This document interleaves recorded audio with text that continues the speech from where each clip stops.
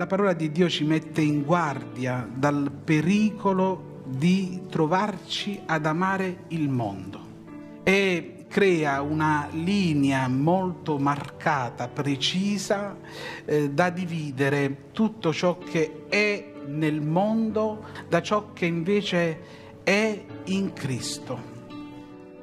E non possiamo esservi al centro o con un piede di qua e un piede di là. Grande è la via che mena alla perdizione e sono molti quelli che la percorrono. E noi ci trovavamo proprio in questo fiume. Eravamo trasportati da cose che procuravano solo grandi amarezze, grandi dolori. Ma per grazia di Dio qualcuno ha lasciato la gloria. Egli ha permesso che noi ricevessimo una solidità. E qui si sta parlando di una solidità eterna. Il mondo passa e passa con la sua concupiscenza. Questo è il mondo. Ha un principe ed è Satana ed è il diavolo.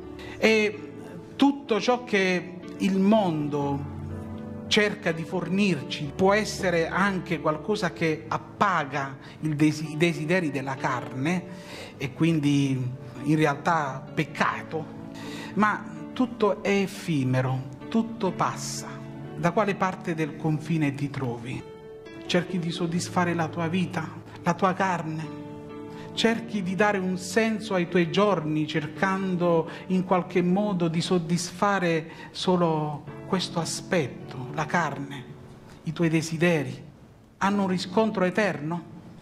O ti rendi conto che tutti i desideri che tu rincorri sono in realtà effimeri, finiranno? Egli invece è venuto per salvare ciò che era perduto. Egli invece è venuto per portarci in una realtà eterna. Non avevamo speranza. E anche tu, anima cara, che stai conducendo la tua vita secondo i tuoi propositi, i tuoi proponimenti. Ma la parola di Dio in questa mattina ti sta illuminando e ti sta dicendo qual è la fine di questo percorso. Un fiume impetuoso che ti trasporta insieme ad altri. Ma qual è la fine? Qual è la tua scelta? Dove vuoi stare? La parola di Dio è molto chiara. O ami il mondo o ami Gesù il Signore, il tuo Dio.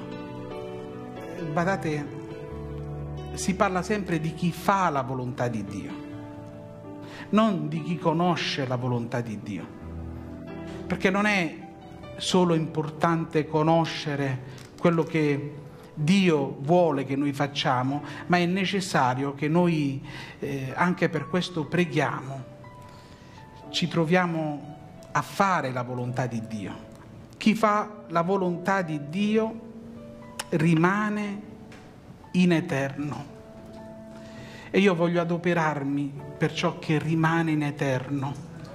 E quindi voglio fare la volontà di Dio. Il Signore ci chiama a fare la sua volontà. E quindi a vincere il male con il bene.